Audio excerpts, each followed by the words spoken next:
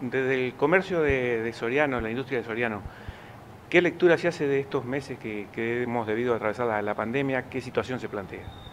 Bueno, este, el, comercio, bueno, ya todos sabemos que debido a este tema del coronavirus eh, sufrió un, golpe bastante fuerte.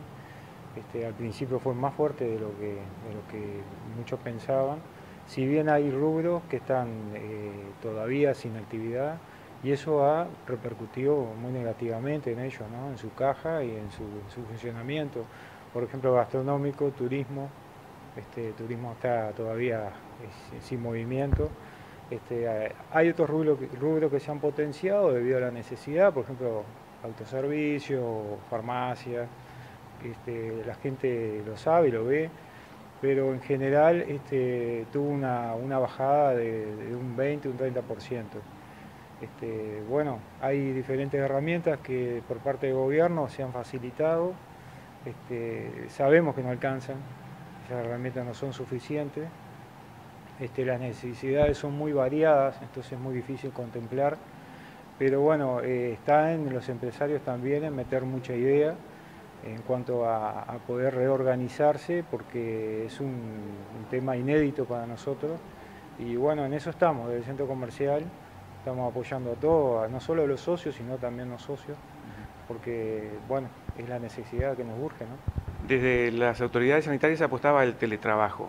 ¿El comercio del interior se ha podido adaptar a esa nueva modalidad de trabajo? Bueno, tratamos de adaptarnos, pero en muchos casos no es muy efectivo, no ha sido efectivo.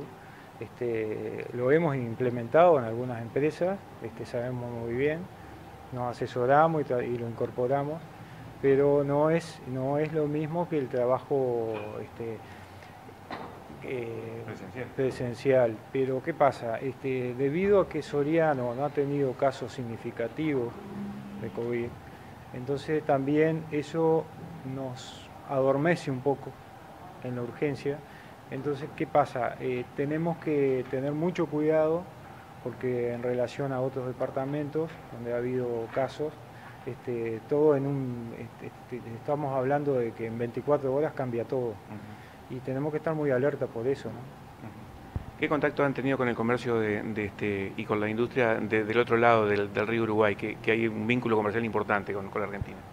Sí, el, vínculo de relacionamiento siempre lo tenemos. Este, ellos están sufriendo tal vez un poco más fuerte que lo que estamos pasando nosotros, este, por lo que nos han comentado. Este, ellos tienen una, cuarentena obligatoria y bueno, eso afecta enormemente el comercio. Eh, algunos se han, se han transformado a la, a la necesidad, pero no alcanzan.